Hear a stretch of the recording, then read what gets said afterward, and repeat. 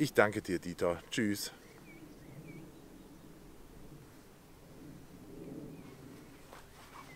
Moin zusammen!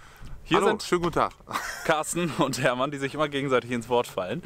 Ich bin heute zu Besuch bei Carsten in der Heimat, nämlich im Teutoburger Wald. Denn Carsten ist nicht nur einfach Carsten und ein guter Freund von mir, sondern Carsten ist auch Der Eulenmann. Ja, das war sehr schön.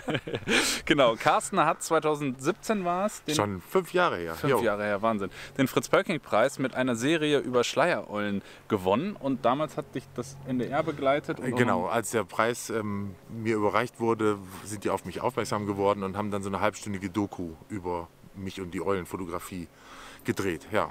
Die würden wir euch natürlich super gerne jetzt verlinken. Leider ist es aus irgendwelchen Gründen gerade nicht mehr bei YouTube zu sehen. Solltet ihr aber in Zukunft mal über dieses Video irgendwo stolpern, dann unbedingt ansehen, denn das ist sehr empfehlenswert. Wir sind gar nicht weit weg von mir zu Hause. Da hinten 500 Meter wohne ich und hier 100 Meter weiter ist eine wunderschöne Streuobstwiese mit ein paar alten Kirsch- und Äpfelbäumen drauf und einem Steinkauz. Und dass der da wohnt, das weiß ich schon seit Jahren, weil ich die Röhre, in der er wohnt, selber aufgehängt habe vor, weiß ich nicht, sieben, acht Jahren. Und seitdem ist des, der Platz regelmäßig besetzt und eigentlich bin ich da jedes Jahr am Fotografieren. Die sind einfach so niedlich und kuschelig und puschelig, die Ja. Steinkreuze, dass man irgendwie jedes Jahr wieder von neuem anfängt. Ja, und genau jetzt dieses Jahr hat mir Carsten gerade ein Foto geschickt. Äh, letzte Woche war das. Wir blenden das mal hier kurz ein.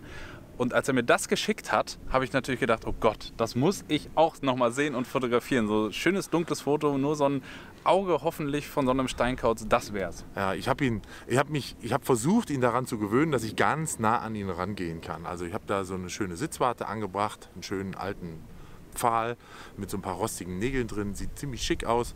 Und ähm, na, ich habe mich immer näher rangearbeitet und ich konnte am Ende aus drei bis vier Meter Entfernung einfach den Kauz da sitzen, sehen und fotografieren. Das ist natürlich ziemlich cool. Okay, jetzt kann ich hier nicht mehr. Jetzt müssen wir dahin. Drei Meter Steinkauz. Alles weitere besprechen wir dann da vorne. Los geht's. Wir sind jetzt hier an der Obstwiese.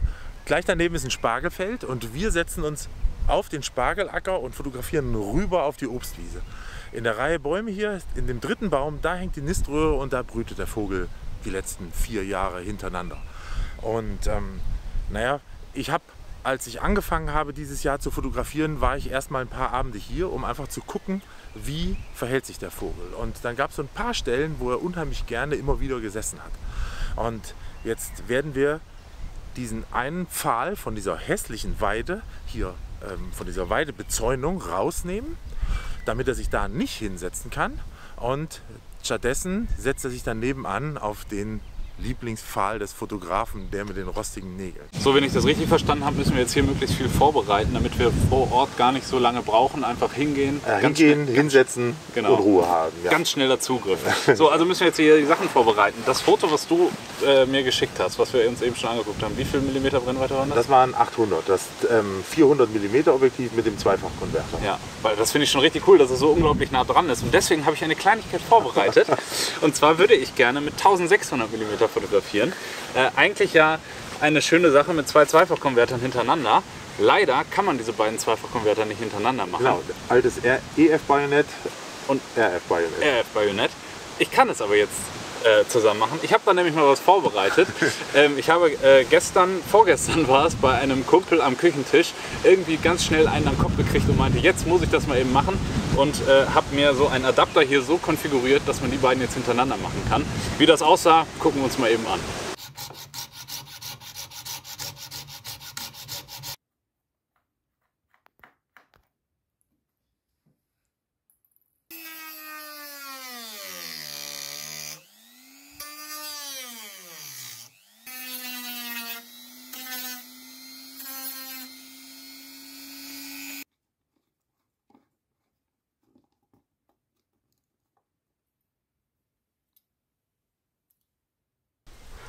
Ein Zweifachkonverter, zwei Zweifachkonverter, 400er.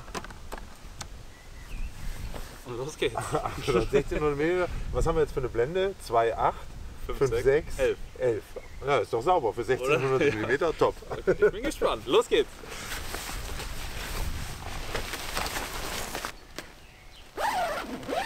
Der eine oder andere fragt sich sicherlich, warum sitzen die überhaupt in einem Zelt? Naja, und so ein Steinkauz ohne jegliche Deckung fotografieren, das haut nicht hin. Die sind zwar an Menschen gewöhnt und auch ziemlich tolerant, ähm, der Annäherung von Menschen gegenüber, aber mich hier einfach auf das freie Feld oder auf die freie Wiese setzen, das funktioniert nicht, dann kommt er nicht.